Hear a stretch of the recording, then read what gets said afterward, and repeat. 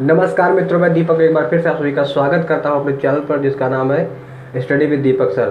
तो दोस्तों, अगर आपने हमारे चैनल को सब्सक्राइब नहीं किया है तो प्लीज़ ये लाल बटन दबाकर चैनल को सब्सक्राइब कर लीजिए, जिससे मेरे आने वाले सभी वीडियो आप तक सबसे पहले पहुँच जाए। तो दोस्तों, आइए जानते हैं, इस सप्ताह निकलेगी सिपाही भर्ती, इस इस बात में कितनी सच्चाई है, कितना झूठ है। तो दोस्तों, आप एकदम खुश हो जाइए, इस बात में बिल्कुल सच्चाई है, सौ प्रतिशत सच्चाई है। भर्ती बोर्ड सिपाहियों की भर्ती के लिए बहुत जल्द वैकेंसी निकालेगा, फ़िलहाल सिपाही और दीवान की संशोधित भर्ती नियमावली की प्रिंटिंग कराई जा रही है। सूत्रों का कहना है कि एक दो दिन में नियमावली और अध्याचन डीजीपी मुख्यालय से पुलिस भर्ती बोर्ड को भेज दिया जाएगा। इसके बाद भर्ती बोर्ड विज्ञापन जारी कर देगा और आवेदन मांगेगा। इसके साथ ही भर्ती प्रक्रिया शुरू हो जाएगी। हम आपको यह भी बताना चाहेंगे कि सरकार ने हर वर्ष तीस हज़ार सिपाही और बत्तीस सौ दरोगा भर्ती के लिए सुप्रीम कोर्ट में हलफनामा दे रखा है।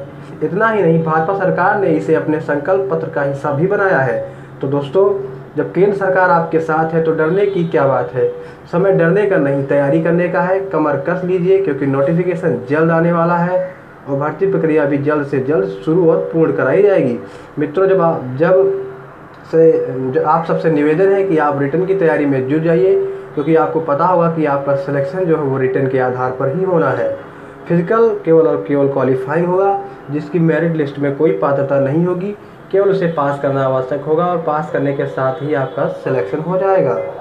तो इसी के साथ हम आपसे विदा लेते हैं। आज के वीडियो में सिर्फ़ इतना ही। और दोस्तों, अगर आपको हमारा वीडियो पसंद आया है तो प्लीज़ हमारे चैनल को सब्सक्राइब ज़रूर करें और ये वीडियो दूसरे तक भी शेयर करें, जिससे इस बारे में जानकारी सभी को मिल सके।